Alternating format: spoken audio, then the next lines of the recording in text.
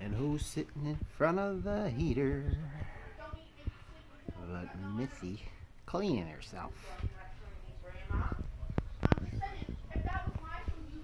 What are you doing?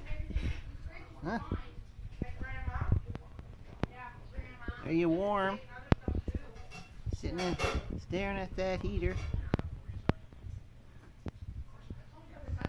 She loves the heat.